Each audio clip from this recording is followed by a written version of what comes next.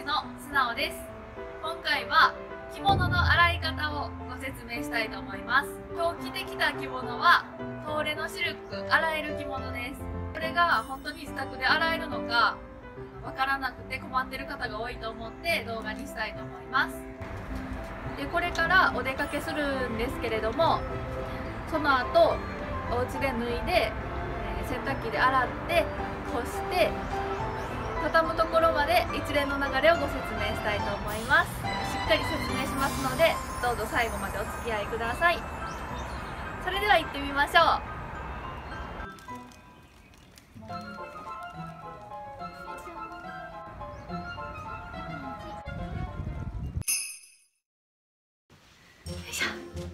ただいま。帰りました。結構汗をかきました。一重にしてよかった。洗える着物にしてよかったです。これから実際にどんな風に洗うのか一緒にやってみましょう。ではお着替えしますので少々お待ちください。よいしょ。お着替えができました。それでは片付けしてまいりたいと思います。えー、っとまずは帯。帯を片付けます。帯は双剣で洗えませんのでしっかり干してまずは湿気を取ります。用意するものはハンガーが2つです。裏が表を向くようにかけましょう。こんな感じ。裏が表を向くようにかけます。で1個じゃ下にだらんとついてしまうのでハンガーを2つ使います。私はね。こんな感じで。OK こんな風にかけました。これを、えー、かけときます。でえっ、と、まあ、1日ぐらい経ったら、えー、きちんと畳んで帯も多通しに入れて、えー、しまうという感じです。では続きまして着物を洗う準備をしていきます。着物はざっくり畳んでください。着物のちゃんとした畳み方じゃなくていいのでまずは片山を揃えて袖を畳んでで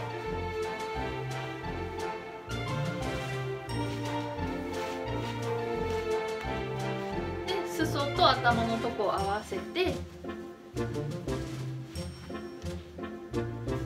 でこれをまた半分に折る。でまた半分にしました。ざっくりでいいです。でも大体畳んでおいた方がいいです。なぜなら、えー、型崩れがしたりとかあと着物の縫い目にあの負荷がかかってしまったりするので大体でいいので畳んでください。そしてこのネットに入れます。これは100均で買いました。二重になっててあの生地を傷めないっていうネットです。この動画についてはあの記事もありますのでこの商品とかは記事でご紹介しますね。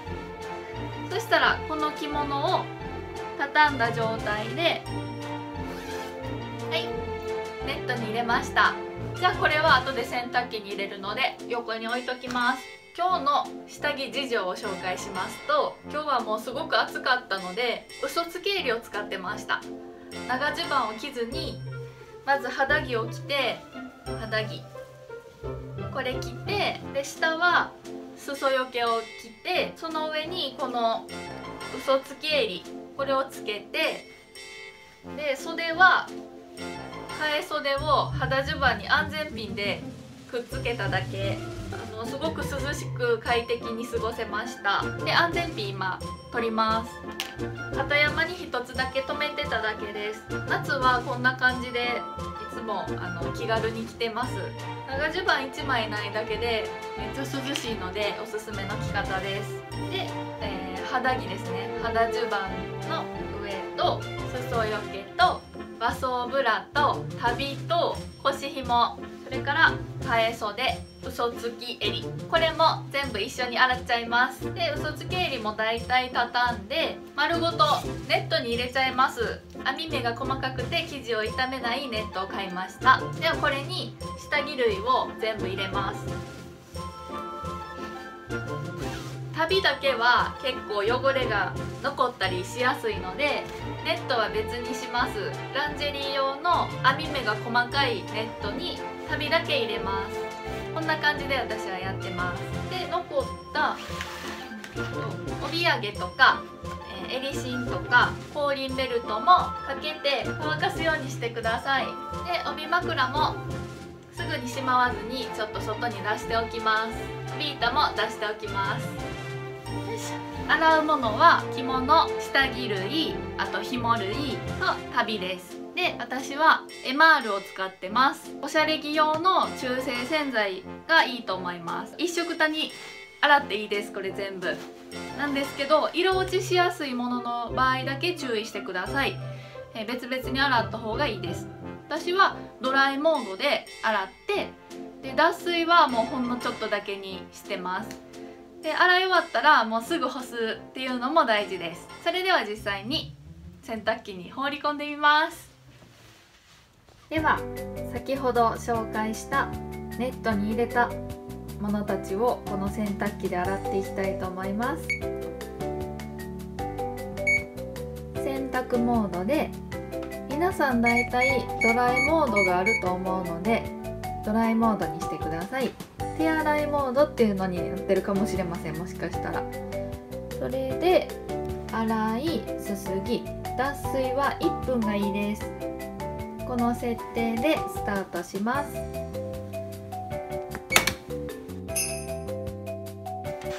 はい洗濯が終わりました。えっ、ー、とお風呂に入ったので顔は映さずにご説明したいと思います。まず着物の入ったネットを開けます。1分間脱水をしたのでまだ湿ってる状態です。これをこちらの着物ハンガーに吊るします。えもし着物ハンガーがない場合は普通のハンガーでも構いません。一晩ですね。干しといたらもう次の日には乾いてると思います。こう変なシワが寄らないように気をつけて吊るしておきましょう。着物がこう床に擦れるのが気になる方はこれズボンのハンガーですね。これを使うといいです。裾にこう留めて裾を持ち上げてかけておくといいと思います。こんな感じにげときましょう。洋風のお宅だったらこういう酸がなくってかシルバーのあの洗濯物干しとかを使わはるご家庭も多いと思うんですけどこうやってかければ、えー、床に擦れることなく干せます。はい。では続きましてこの旅の入ったネットを開けます。綺麗に汚れが落ちております。これは洗濯のこのピンチに留めましょう。で最後のネット小物が入ったネットですね。これを開けていきましょう。まず裾よけ。裾よけはしっかりシワを伸ばして、えー、物干しに留めていきます。はい。続いて肌襦袢の上着の部分。こちらもしっかり伸ばすとアイロンしなくていいのでこのままかけときましょう。で替え袖ですね。替え袖。これはすぐ乾きます。ポリエステルです。嘘つき襟。嘘つき襟も洗濯の物干しに留めます。紐が長いので紐も留めときましょうね。それから画装ブラに紐類です。紐類はくしゃくしゃくしゃっとシワが寄ってしまうとなかなか元に戻すのが大変なので今だいたい伸ばしておきましょうね。素材はえっ、ー、と私は綿とかあのモスリン系ですね。ポリエステルやとどうしても汗を吸わなくて汗が溜まって汗もになっちゃったりとかと締め具合がこう強いとなかなか伸縮性がなくって苦しくなっちゃうので綿とかモスリンの腰紐がおすすめです。でだいたい伸ばして干しときましょう。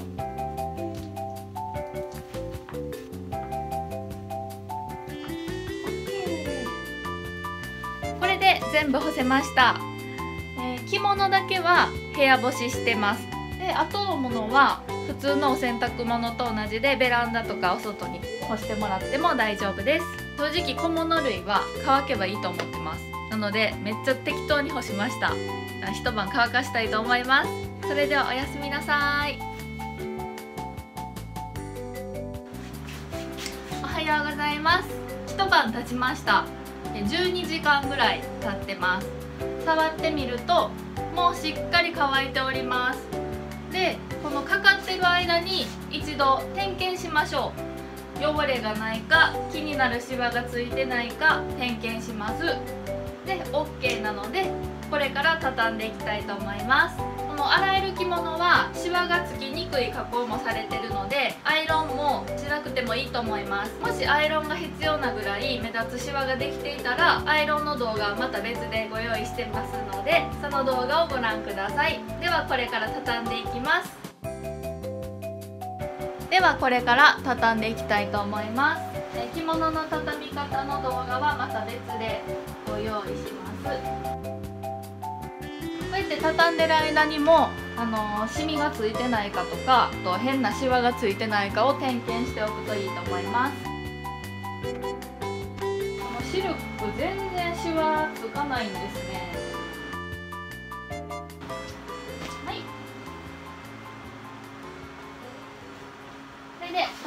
した。もう自宅で洗濯機でガサガサ洗ったとは考えられないぐらい綺麗に元通りになりました、え、いかがでしたでしょうか？えっと、今回は東レのシルク洗える着物でご説明したんですが、えっと、ポリエステルの着物とか木綿の着物とかいわゆる洗える着物全般に使える着物の洗い方です。今回の一連のそのお手入れ方法は私が実践しているやり方で着物が傷んだりしたという経験はありません。何か不安なこととかあとこういう時はどうしたらいいんですかっていうリクエストとかも随時受け付けておりますのでこの下のコメント欄の方にどんどんご感想などもください。これから暑くなってきますけど自宅で気軽にお洗濯して着物ライフを楽しんでいきましょう。素直でした。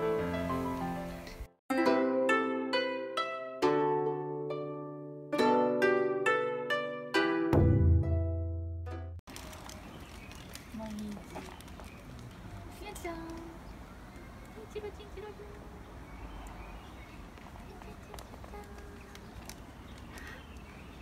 닫았고?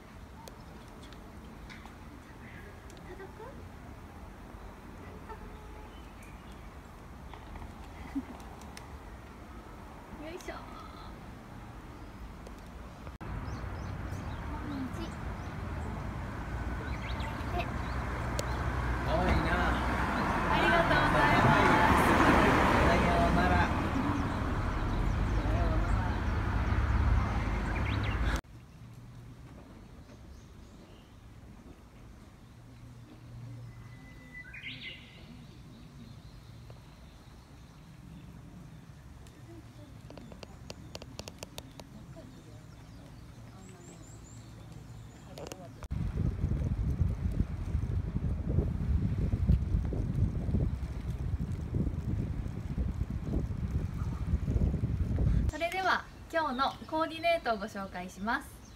今日は天気が少しあったかめだったんで一重の着物にしました。でこれは実は洗える着物です。トーレのシルクの一重の洗える着物を着ております。そして暖かいということもあって全体的に涼しげな寒色系でまとめてみました。